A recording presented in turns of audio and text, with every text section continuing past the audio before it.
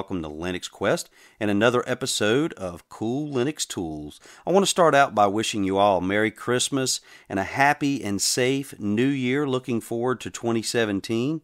So, uh, I don't know if all of you are aware or not, but myself and uh, Rocco from the Big Daddy YouTube channel have started a podcast called Destination Linux. We recently posted episode one and we plan on doing weekly podcast releases. So that got me thinking what options do we have uh, on the Linux desktop for a podcast app? Now, I've got a great podcast app called Pocket Cast that I've been using uh, for a number of years on my Android device and uh, really like the control there. And I listen to a lot of podcasts as I travel.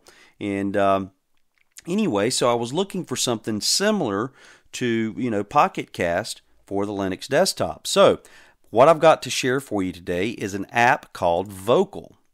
And it's 97% of the way there for me as far as what I was looking for in a podcast app. So I just want to share this with you. I think that if you're like me and you enjoy uh, podcast, I think this will, for the most part, serve you very well. So let's jump into a few things. But before I get into the details and controls and preferences, I'll just go ahead and throw out to you the one thing this is missing that for me would make it an almost perfect podcast app is it does not have a search feature. So you cannot go in, do a search by podcast name, and then pull in the podcast that way. There are two ways that you can add your podcast. So we're going to jump around just a little bit. So you've got your controls up top here. This is the main screen that you will see once you launch into Vocal. Now you'll notice it's very clean in interface, the aesthetics and everything's clean and simple design, and that makes sense because Vocal is developed by the same team who developed Elementary OS. And those guys have a knack for clean look, clean aesthetics, and simple design. So all of that makes sense here as you see this. Now, let's jump back over here. If you want to add a podcast, you've got two options. You can add the podcast feed. So if you have the RSS feed for your particular podcast, very simple, paste that in and click add podcast. Now, the other way that you can add that is by importing a subscription. So you can import your iTunes or gPodder uh, subscription. Uh, you can create a text file from iTunes of your subscriptions as well as gPodder. And uh, once you have those, you can simply import those. Or you can import a previous backup that you've made from inside of Vocal. So they do give you multiple ways to get your podcast in. For me, I'll probably go in and uh, just add a couple of RSS feeds from some of my favorites and do it that way. And then I'll make a backup. So, all right, let's start at the uh, controls up here. So, at the left, once you have selected your podcast, you'll see a window that pops up here on the right. You'll see information like the show notes, and then you've got some options here, and I'll go through those in just a minute. You can close that window out here. We'll select that and open that up.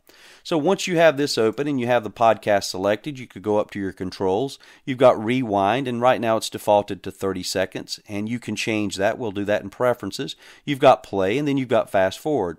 You've got your progress bar here with a description of the particular episode that you're uh, listening to. Now, my understanding is, is that you can also import um, video podcast to this as well. So that's another nice feature. Uh, this kind of reminds me a little bit of Miro, but I believe the development for Miro has has ended. So I'm really happy to find this. All right, your uh, other items here, you've got uh, show notes. So that's duplicate with what you see here. Uh, you've got an option here to check for new episodes. And you we've already gone over this. You uh, would add your podcast here. And now you've got a hamburger menu and that gives you a few options and preferences. So here's your option to export your subscriptions. So you could back that up for safekeeping. We'll jump into preferences here. Not a, not a lot to do here in preferences. You've got an option to automatically download new episodes You've got an option here to delete played files, and then this is where you can go in and adjust your fast forward and rewind. Again, it's defaulted to 30 seconds. And that's it for preferences.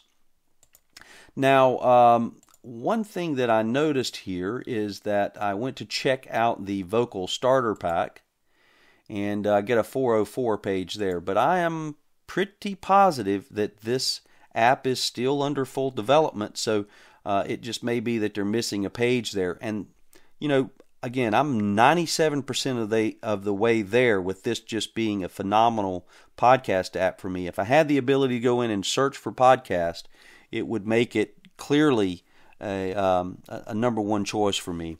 But this is an app I'm going to definitely um, consider donating to. I just think that the Elementary OS team has a knack for aesthetics and putting together a nice simple interface and giving you the right amount of control. Uh, once you've selected a episode, you've got some other options that'll pop up here at the bottom. So here you've got an option to mark all episodes as played. You can download all episodes. And then you have an option to hide the episodes that have already been played. You've got one other small hamburger menu here, and you've only got one option, and that's to remove the podcast from the library.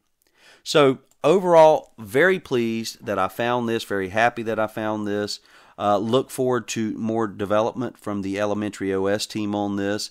If you're into podcasts, definitely check out Vocal. And again, here under their hamburger menu, they've got a donate section, and that launches into a 404 as well. Uh, so maybe that's something they need to work on. But nevertheless, I hope that the uh, development continues on this. So I want to support these guys. Uh, keep up the great work. And uh, that's it for now. Just wanted to share this. Hope you enjoy it. Be safe out there, and thanks for watching. And we will check you later.